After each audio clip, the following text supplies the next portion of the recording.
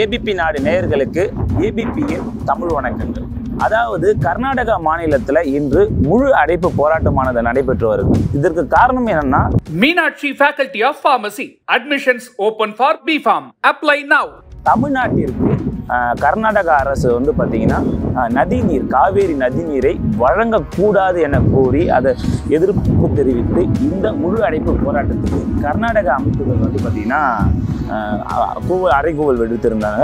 சுமார் ஆயிரத்தி தொள்ளாயிரத்திற்கும் மேற்பட்ட கிட்டத்தட்ட இரண்டாயிரத்திற்கும் மேற்பட்ட கர்நாடக அமைப்புகள் வியாபாரி அமைப்புகள் ஒரு சினிமா துறையை சார்ந்த அமைப்புகள் என ஆயிரத்தி தொள்ளாயிரத்திற்கும் மேற்பட்ட அமைப்புகள் இந்த முழு அடைப்பு போராட்டத்திற்கு வந்து ஆதரவு தந்திருக்காங்க.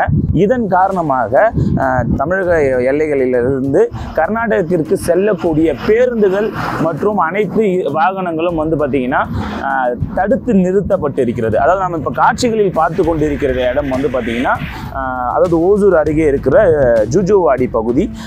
இது இந்த இடம் என்னன்னு பார்த்தீங்கன்னா கர்நாடகா மற்றும் தமிழக எல்லை வந்து பார்த்திங்கன்னா சேரக்கூடிய இடம். ஜுஜுவாடி என்பது தமிழக எல்லையாகவும் அத்திப்பள்ளி அடுத்த அடுத்த இடம் வந்து அத்திப்பள்ளி இருப்பது கர்நாடக கர்நாடகாவுக்கு சொந்தமான இடமாகவும் இருக்கிறது.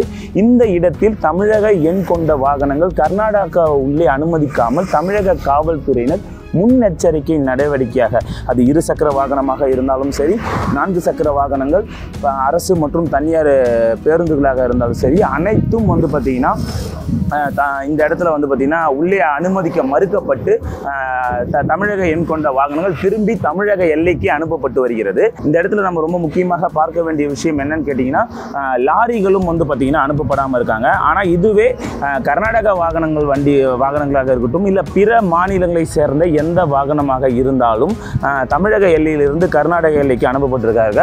ஆனால் இதே நிலைமை தான் பிற மாவட்டங்களிலும் அதாவது பிற மாவட்ட எல்லைகளை உட்பட தருமபுரி கிருஷ்ணகிரி போன்ற தருமபுரி உள்ளிட்ட சேலம் உள்ளிட்ட ஈரோடு உள்ளிட்ட இடங்களில் வந்து பார்த்திங்கன்னா கர்நாடகா மாநிலத்தில் வர அதே நிலை தான் தொடர்ந்துட்டு இருக்கு இந்த உள்ளே வந்து பார்த்தீங்கன்னா இப்போ கர்நாடகாவில் எந்த நிலமையில் இருக்காங்க அப்படின்னு பார்த்தீங்கன்னா முழு அடைப்பு போராட்டத்தில் வணிகர்கள் வந்து பார்த்திங்கன்னா முழுமையாக ஈடுபட்டிருக்காங்க.